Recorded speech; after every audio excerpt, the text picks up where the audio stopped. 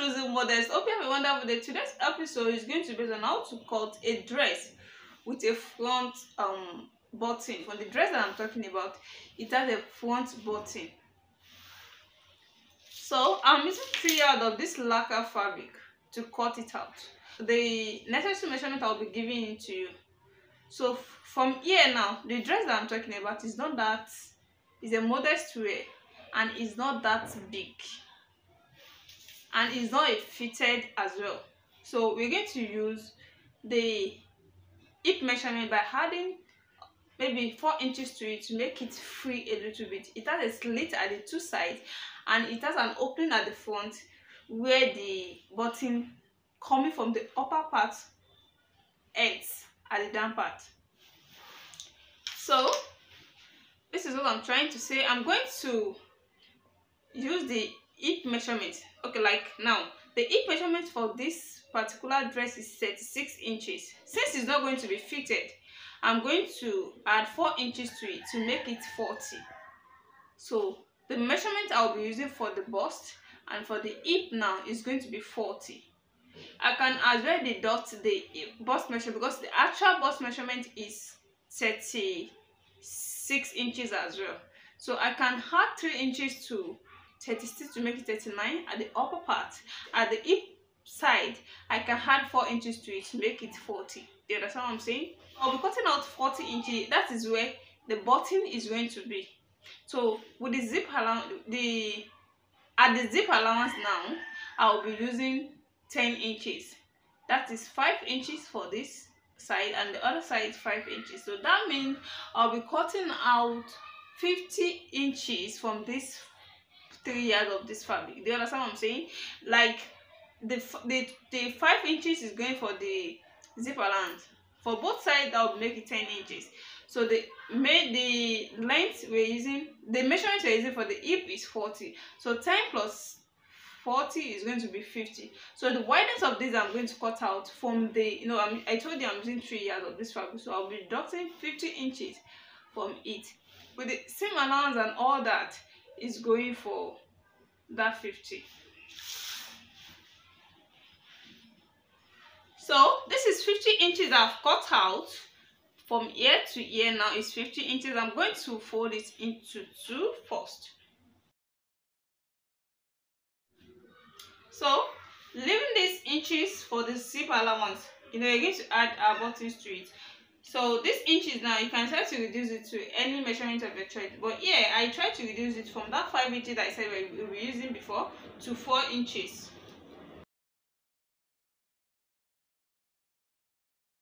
I try to reduce it from that five inches that i said we'll be using before to four inches. So that by the time we put a stay a gum stay around this area we'll be able to, we'll be able to fold it into two like this and you make your button holes then you add your button to the other side. Do you understand what i'm saying? So this is okay for the zip allowance now or button allowance since we are using button at this style. So the first thing we'll be doing here is to take the show the necessary measurement. So to take the uh, shoulder measurement this is 7.5 inches. Because of the fabric that the the chalk is not writing properly. But by the time i cut it out you're going to see it. So the shoulder slant of one inch. One inch shoulder slant. So i'm going to slant it to this area. From the shoulder slant i'll be taking arm measurement of seven inches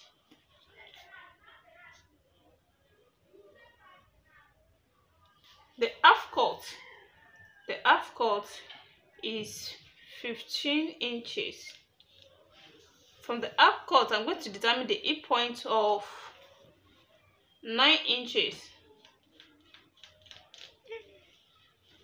Then the hip measurement let me take the bust measurement first. The bust measurement i said i'll be using 39 inches. I'll be using 9.75 so with the same allowance of one inch. So the waist measurement i'll be using.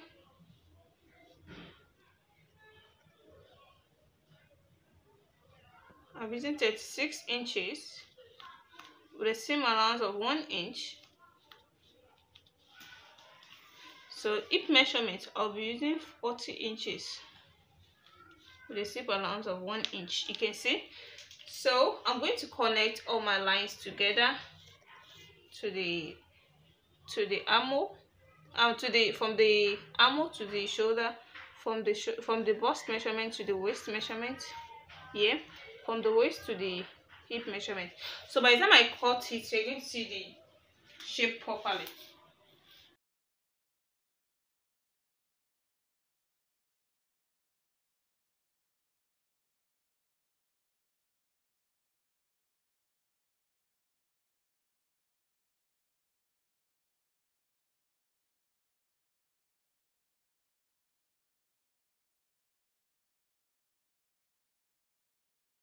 to take the length before cutting out the down part. The full length is 56 inches then i'll make it of 57 inches you can see this is 57 inches.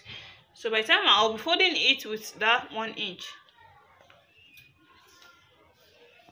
So for this particular area you have to notch it to know where you're going to start your um your to know where you're going to put your gum stay so you're going to notch this area that falls to the button allowance the notch where it starts from. You can see you can see where I notch. Just to know where to start from. So you have to notch the down part also.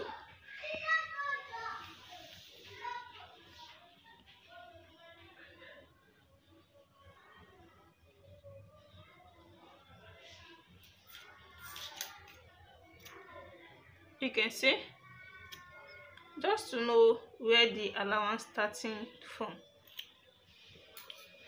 So the next thing here is to cut out the neckline.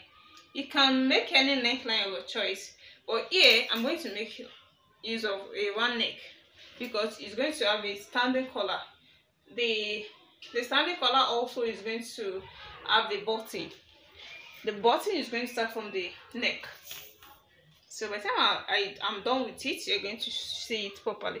So the wideness of the neck here i'm using two point. I'll be using 2.5 from for the wideness of the neck.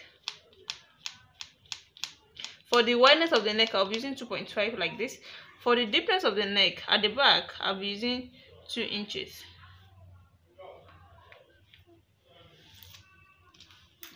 Then for the roundness of the neck at the front, I'll be using 2.5 inches.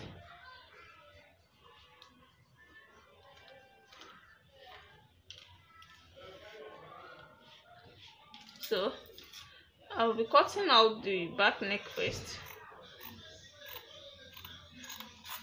Then I'm going to cut out the front neck.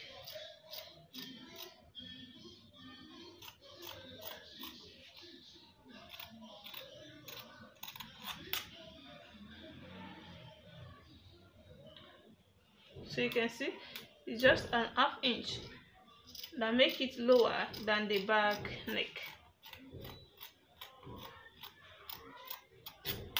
so this is now the front neck so i'm still going to notch it.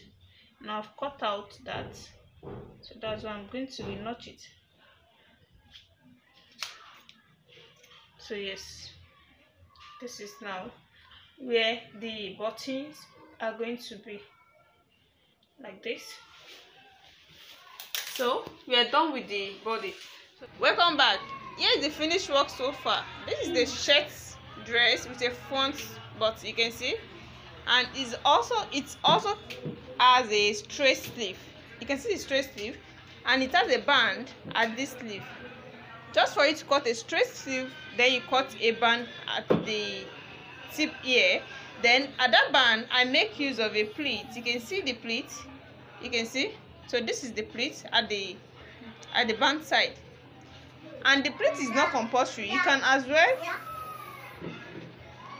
you can as well sew it without putting a print but just make sure this edge the end here is the same thing as the band you're adding to it. Okay. is a shirt gown with button with a front button. You can see it you can see the distance of the button you can make any distance of your choice but here i make a distance of 3.5 inches from here to here 3.5 inches. Then i make sure it's at the middle. So that if you want to do your own this is how you're going to do it. I can see the way i fold this. You can see. You can see with that um four inches allowance or 4.5 inches allowance then i make sure i fold it so it will be thick as this